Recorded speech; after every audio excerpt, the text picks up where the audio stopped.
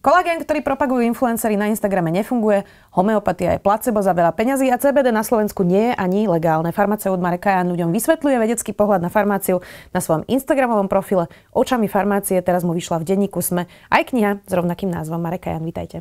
Vítam. Tak, knižka.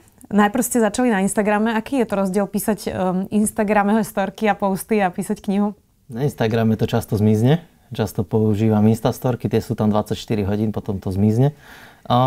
Je to iné, je to oveľa viac práce, ale bol to, bola to príjemná skúsenosť. Som rád, že som, to, že som sa vydal tou cestou. Ja som si tú knižku čítala, vlastne my ju tu máme aj na stole. A ona je super v tom, že je to také celkom stručné, keď si človek chce vlastne nájsť tie odpovede. A je tam teda odpoveď na 50 otázok, na ktoré určite chcete poznať odpoveď. Ktorá z tých otázok je vaša najobľúbenejšia? Uh, už som raz povedal, že homeopatia je moja najobľúbenejšia, písal sa mi najľahšie, lebo som ju už veľakrát spracovával, ale mám veľmi rád príbehy z minulosti, ktoré sú také nejaké inšpiratívne a pekne končia a môžeme sa z nich niečo poučiť. Takže veľmi sa mi páči napríklad kapitola o inzulíne, ktorá popis, alebo taktiež uh, ako prebiehal vývoj naprieč uh, vekmi napríklad. Tam je kapitola o vývoji tehotenských testov ako to išlo ešte zo, z pradávnych čias, ako sa to vyvíjalo a ako sme sa dostali do tohto bodu. Že dnes už vlastne niektoré testy vedia povedať, v ktorom týždni vlastne žena je v tehotenstve. Tak sa zastavme pri tých homeopatikách. Mm. homeopatikách. To používajú aj niektorí doktori. Prečo? Dobrá otázka, prečo? Eh, ja, ja to nechápem, takže eh, ako hovorím, už som, to, už som to niekde spomenul, ale podľa mňa nepatrí do 21. storočia a Myslím si, že každý by si to mohol nejako uvedomiť, keď si len prečíta tie tri tézy, na ktorých stojí homeopatia. Že prvá téza je, že podobné lieči podobné. Čiže ak cibula vám vyvolá slzenie z očí, čo je nejaký príznak alergie, tak ak ju zriedím, tak tie príznaky bude zase liečiť. Vieme, že to tak nie je, ale to je tá hlavná téza, na ktorej stojí. Druhá téza je, že čím je viac zriedenejšia, čím je tam menej tej látky, tým je účinnejšia. Čiže čím máte menej peňazí, tým ste bohatšia čím máte menej sirupu vo vode, tým je sladší. Tiež vieme, že to tak nefunguje. Mm. A tá tretia téza je, že nejako si tá voda, v ktorej bola tá účinná látka, si musí zapamätať. Čiže ak s tým dobre zamiešam a správne to buchnem, tak si zapamätá voda tú esenciu, tú účinnú látku. Čiže voda má pamäť.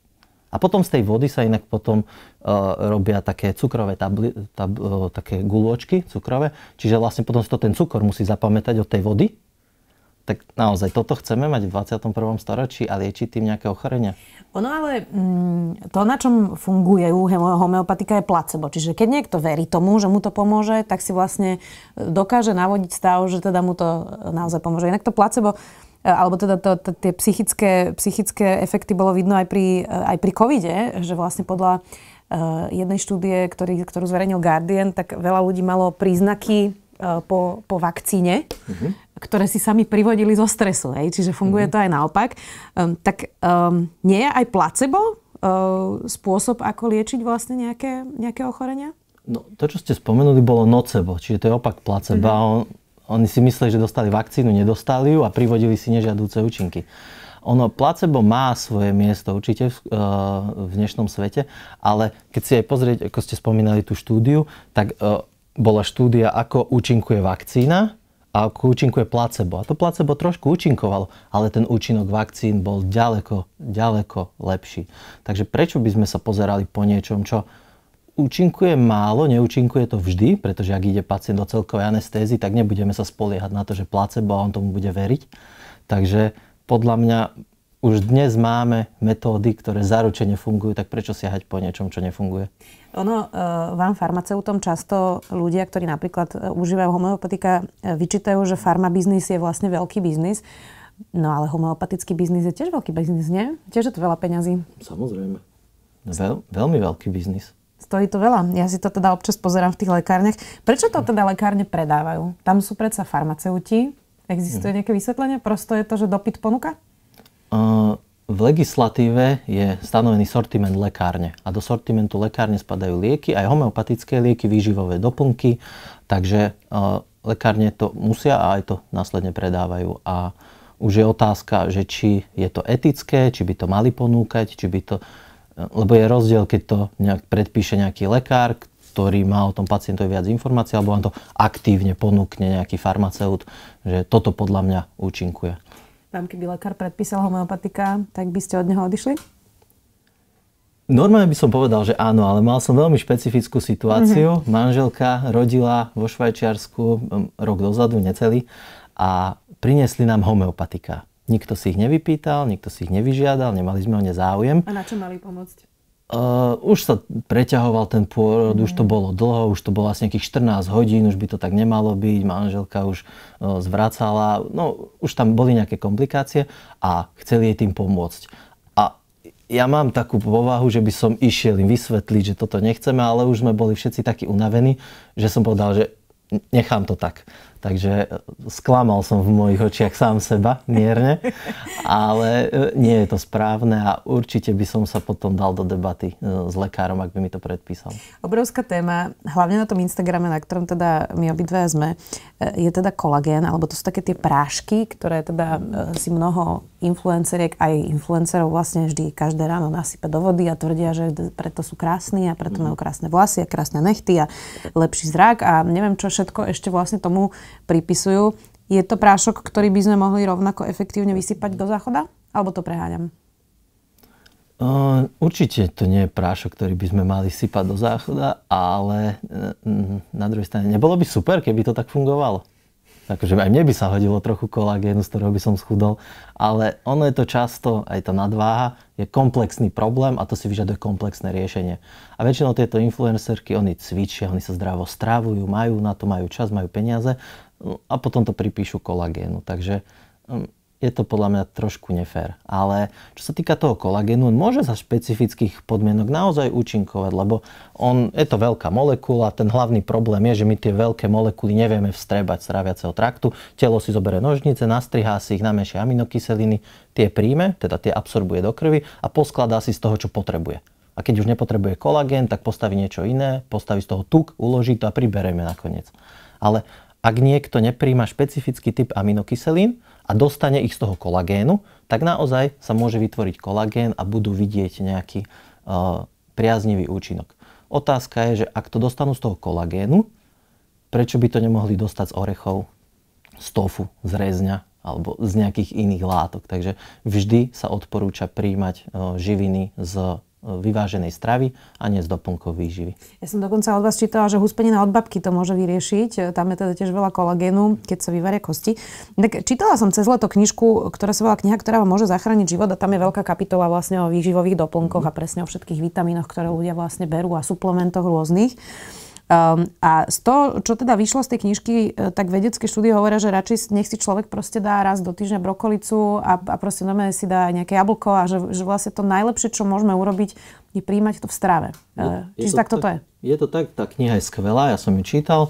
Každý vitamín, minerál tam má svoju takú krátku sekciu, podobne dlho ako v knihe, možno dve strany. A na konci je zhodnotenie, že či ten vitamín treba alebo netreba. A keď si to nejaký like prečíta, tak vyzerá, že netreba naozaj nič. Lebo vitamín C príjmeme z jedného pomaranču za deň, vitamín A z mrkvy úplne bez problémov. A naozaj tá kniha jasne ukázala, prečo to nemá zmysel. A teraz, keď tak nad tým rozmýšľam, tak ľudia často hovoria, že tí farmaceuti všetko chcú liečiť liekmi a vždy vám niečo ponúkajú, aby ste zarobili. Ja mám skôr pocit, že farmaceuti, aspoň ja to teda robím, odrádzajú od toho, že ľudia majú tú, takú tú tendenciu. Zázračnú tabletku. Zázračnú tabletku vyrieši môj problém, nič iné nepotrebujem, potom to vyzerá aj tak, keď máme lieky na vysoký krvný tlak, ale k tomu má prísť aj úprava jedálnička, ale to nikto nerobí a preto u nás tak uh, slabo fungujú v porovnaní s ostatnými krajinami. Slovensko je na chvoste rebríčka práve v tomto, pretože ľudia len sypú lieky, ale teda naozaj nezmenia štýl a ďalej jedia bočeky tak. aj rezne. Tým sme naozaj experti v tejto krajine. Ďalšia téma, ktorá teda veľmi rezonuje, hlavne u mladých, sú CBD kvapky. Uh, je tam teda nejaký extrakt kanabisu. Uh, vy ste teda hovorili, že je to na Slovensku nelegálne. Ja tomu rozumiem, ale dá sa to všelijako samozrejme obchádzať. Ale to, čo ja vidím vlastne na sociálnych sieťach, je, že už tomu pripisujú také schopnosti, že to keby naozaj existovalo, tak vlastne niekto za to dostane Nobelovú cenu. Lebo od úzkosti, depresí, cez epilepsiu až po e, nespavosť a neviem čo všetko, úplne, že to tam naozaj sa zmestí všetko. Čiže, čiže povedzme si vedecky, čo dokáže a čo nedokáže CBD. Dnes je už potvrdené, že CBD dokáže liečiť dva špecifické typy epilepsie, ktorá je rezistentná na liečbu liekmi. Dravetovej syndrom a ešte jeden syndrom s komplikovaným názvom. Ale to je naozaj veľmi vzácne ochorenie, ale tam sa ten účinok potvrdil. Bolo to Celé to začalo jedným veľmi pekným príbehom takej mladej dievčiny, ktorá, ktorej marihuana s vysokým obsahom CBD pomohla a na základe toho sa nakopol výskum a na konci dňa máme liek, na ktorom farmaceutická firma zarába, ale má také dobré klinické skúšanie, že to overili nezávislé inštitúcie a povedali, OK, môže sa používať a teraz z toho benefitujú aj všetci ostatní. A bolo by v záujme všetkých farmaceutických spoločností, ak by uh, liek pomáhal na nespavosť, čo je jeden z najväčších problémov na svete, aby ho na to mohli uh, reálne na túto indikáciu aj ponúkať. Lenže my ešte tie dáta nemáme. Ale ako ste spomínali, tak na Instagrame sa často háňajú tým, že máme tie dáta, že pozrite, tu je klinická štúdia. No a čo oni urobili je, že poslali CBD kvapky niekomu a každý týždeň mu volali, že ako sa cíti. Ale, Ale to nie je klinická to nie, štúdia. Nie, to je prieskum. Mm-hmm. To je niečo iné. Ale je to na ľuďoch, tak niekto si môže povedať, že to je klinické skúšanie. Keď dám ľuďom uh, otestovať rôzne piva a spýtam sa ich, ako chutia, tak aj to je z časti klinické skúšanie, to na ľuďoch, ale nie je, nie, samozrejme, že to nie je taká váha, ktorú by sme mohli použiť na to, aby sme z nejakej látky spravili uh, liek. Pretože to je naozaj komplikovaný proces. Ja som to v jednej kapitole v knihe popísal, že keď ja teraz prídem do nejakého pralesu a nájdem tam uh, účinnú látku, nájdem tam nejakú rastlinku, ktorá tlmí všetky typy bolesti. A ja ju chcem, chcem to o nej tvrdiť, chcem ju ponúkať ako liek, tak čo musím spraviť? No presne to je aj v tejto knihe. A CBD to zatiaľ spravilo len pre uh, dva špecifické typy epilepsie. Zácného typu, rozumiem. Ja mám inak teda okolo, okolo seba dokonca ešte kamarátov, ktorí to dávajú dokonca aj svojim psom. Uh, to, to mi tiež príde veľmi, veľmi zvláštne, ale všetci mi na to hovoria, keď sa o tom rozprávame, že ale mne to pomáha. Ja to cítim, že mne to proste pomohlo. Mm. Čo by ste im na to povedali? Na, na, k tomu sa dá pristúpiť, pristúpiť z viacerých uhlov, ale napadlo mi, že je taká stránka, volá sa, že What's the Harm? A ona zmapovala príklady uh, ľudí, ktorí sa liečili alternatívnou terapiou. A ono to ide často v ruka v ruke, že napríklad tá alternatívna terapia možno neuškodí, ale neurobí nič. Ale často tí ľudia, ktorí ju propagujú, tak povedia, ale nedávaj si lieky, to je chémia, to ti uškodí. A často jediné, čím sa liečia, je táto alternatívna terapia. A na tej stránke, ktorú som spomenul, zmapovali prípady ľudí, ktorí reálne aj zomreli, alebo sa im výrazne znížila kvalita života, práve kvôli niečomu takémuto. Takže podľa mňa aj toto je, toto je jedna časť problému, že ľudia sa liečia niečím neúčinným a následne ignorujú liečbu, ktorá by mohla pomôcť. Mm. Potom sú tu dva extrémy ľudí, teda tí, čo, presne ste ich teraz popísali, čo vlastne úplne odmietajú ako keby nejakú chémiu, hoci mm-hmm. nevolajme to tak, lebo to tak nie je, množstvo vecí je chémia aj v prírode. Um, a potom je druhý extrém ľudí, ktorí by chceli na všetko širokospektrálne antibiotika. Uh, vždy, keď ich trošku zabolí hlava, tak si okamžite dávajú nejaké analgetika a v podstate jedia to tak trošku už ako lentilky. Um, uh, tak uh, toto je zase niečo, čo tiež je podobné len vlastne na opačnom spektre extrému, nie? Áno. A k tomuto sme sa už vlastne aj dostali, že ja si myslím, že niektorí tí farmaceuti majú skôr tendenciu tlmiť tú, tú, tú chuť ľudí po liekoch. Napríklad moji rodičia sú tohto ideálny príklad. Oni mi stále posielajú, toto by som si dal, toto, toto, toto. A ja ich tlmím, že nie, nie, nie. Keď mali COVID, tak si chceli dať izoprinozín, predpísať antibiotika, neviem čo. Ja som povedal, nie, v žiadnom prípade to netreba. Som mal COVID pred troma týždňami a prežil som to na paracetamole. A pritom viem, ako fungujú všetky tieto látky, ale naozaj my pri mnohých chorobách len pomáhame tomu telu, aby sa s tým ochorením vyrovnalo a netreba to s tými antibiotikami preháňať. Slovensko je v tomto tiež celkom, ak je nejaký rebríček, Slovensko bude určite vysoko v nadspotrebe antibiotík, pretože som vo Švajčiarsku už 5. rok, ale tam tie antibiotika málo kedy sa s nimi človek stretne, keď je nejaký problém. A potom to aj vidíme, rezistencia na antibiotika a všetky tie ďalšie problémy, ktoré to vyvoláva. To inak bude ešte veľký svetový problém, nie? Že sme mm. rezistentní voči antibiotikám. No už to ide jeden problém za druhým, už tu máme druhý globálny problém, tak uvidíme, čo bude ďalšie. Inak uh, priznám sa, že teraz nechcem samozrejme všetkých hádzať do jedného vreca, ale uh, proste mnohí lekári, alebo nejaká časť lekárov, aby som sa ne, ne, nepreháňala, sú prosto nedovzdelaní. A, a nečítajú si tie najnovšie štúdie, že vlastne čerpajú z niečoho, čo je 20-30 rokov staré. Um, ako sa potom v tom má pacient vyznať, keď jeho lekár mu možno dá aj tie antibi- aj antibiotika, keď ich nepotrebuje, dá mu možno k tomu ešte aj nejaké homeopatika. Um, tak ako nejaký pacient, ktorý nemá medicínske vzdelanie, vlastne má byť v tom zorientovaný, keď aj niektorí lekári sú zmetení? Neviem, či bude na to uspokojivá odpoveď. Ja si myslím, že je to dosť systémový problém, ktorý E, ktorý nemá aktuálne šťastné riešenia. A je to smutné, pretože pri covide sme to videli. Všetci moji známi, aj rodina dostali covid a keď som videl, čo im popredpisovali lekári, tak to nemalo žiadne, žiadnu oporu v medzinárodných uh, guidelinoch, ktoré, um, ktoré sa týkali COVID-19. Takže bolo to smutné a vidím, že je to veľký problém. U nás teda ešte potom vždy pri týchto extrémnych situáciách ľudia chytia paniku. Teraz napríklad pri vojne s Ruskom vykupovali jodové tablety. A častokrát sú to také veci, ktoré tým ľuďom môžu aj ublížiť. No. Tak čo s týmto? Toto je veľký problém, lebo liek, vždy pri lieku sa stanovuje účinok v porovnaní s jeho bezpečnosťou. Čiže robí sa tam taký balans. A ak užívame liek, ale nemáme tu danú to ochorenie, tak ten liek akurát tak škodí. Takže toto je ten problém, že ľudia napríklad si nakúpili jodové tabletky, niektorých začnú užívať, no ale pre nich nemá žiadny benefit. Čiže pre nich je len, uh, oni majú len tie nežiadúce účinky z toho lieku. A celosvetovo je najfalšovanejším liekom napríklad Viagra. A robili sa štúdie, že čo tieto falzifikáty obsahujú a často obsahujú omietku, farbu do tlačiarne, persil, a, a takéto uh, látky. Takže vieme si predstaviť, čo by to asi mohlo tým pacientom spôsobiť. Takže nekupovať pančovanú Viagru, rozumiem. Uh, z toho, čo sme tu hovorili, uh, okrem kritického myslenia, to je jedna vec a veľká téma na Slovensku, naozaj sme náchylní veriť viaci susedia ako vedcom, sme náchylní vlastne veriť všetkým konšpiračným teóriám a naozaj tiež aj v tomto bohužiaľ vedieme rebríčky, ale to je téma asi na ministra školstva. Je druhá taká vec, zodpovednosť za samého seba. Uh, že napríklad aj pri rakovine uh, vieme, aké máme dáta. Mnohé tie rakoviny vedia už vlastne uh, uh, mať lepšie štatistiky vďaka preventívnym prehliadkam napríklad. Mm. Ale ľudia na ne nechodia. Mm. Potom máme presne tie lieky na vysoký tlak, ale ľudia nedržia dietu. Že ako keby sme neboli schopní prevziať zodpovednosť sami za seba? Je to tak? Po- povedal by som, že to tak asi je a šťastie je ten problém systémový, najmä pri tých liekoch na rôzne typy rakoviny, že tie lieky na Slovensku sú dostupné, avšak nepreplácajú sa plošne všetkým pacientom, robí sa to na výnimku a, a to, sú, to sú extrémne problémy. Takže e, neviem, že či toto sú problémy, ktoré ako jednotlivci dokážeme vyriešiť a mali by sa vyrieši, vyriešiť systematicky. Ale čo sa týka toho zdravého stravovania a podobne, aj, aj tu môžeme vidieť ten systémový problém. Teraz som videl zastropovanie cien nejakých potravín. A, a čo tam bolo za potraviny? Párky.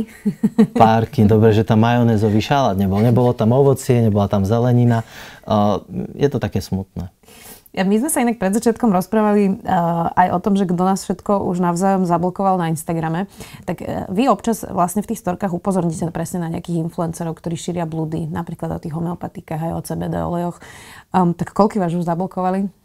No, pokiaľ viem, tak jedna osoba ma iba zablokovala. Takže nie je to také strašná tá štatistika. Nie. Um, prečo myslíte, že namiesto toho, aby tí ľudia boli takí, že OK, tak asi uh, som tanečnica, som modelka, som reper, nemám na toto vzdelanie, tak som sa proste sekol, pardon. A namiesto toho ale príde to, že, že buď vás zablokujú, alebo teda sa niektorí možno vyhražajú aj pred žalobnými výzvami. Neviem, či k tomu to došlo, ale teda občas sa to stáva.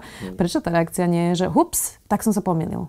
Neviem, či sa niekto stane uh, slávnym reperom uh, tým, že si dokáže priznať nejako verejne uh, svoju chybu.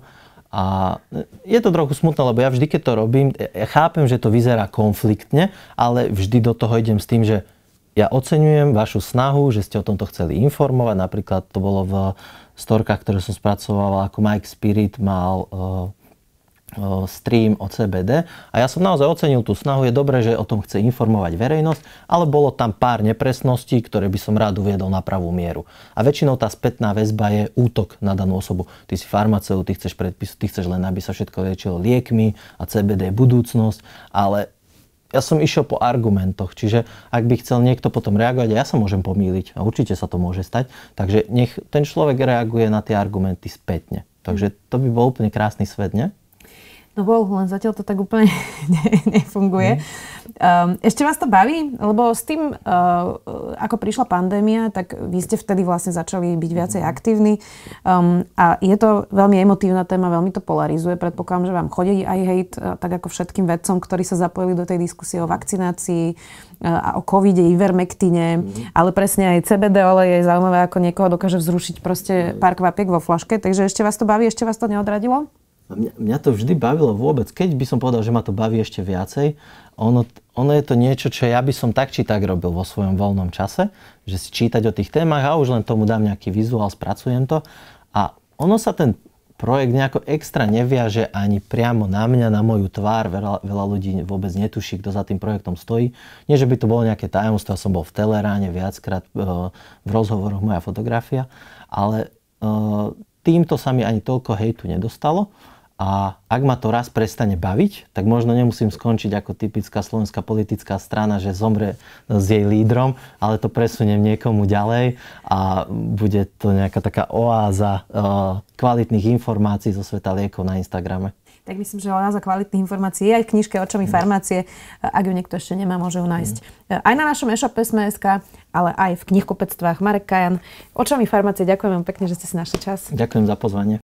Ak chcete podporiť kvalitný obsah, ale aj naše videá, najlepšie urobíte, ak si predplatíte denník SME na sme.sk lomka predplatné. A ak chcete, aby vám na budúce žiadne nové video neušlo, stačí, keď nám dáte na našom YouTube kanáli denníka SME odber a zapnete si upozornenia.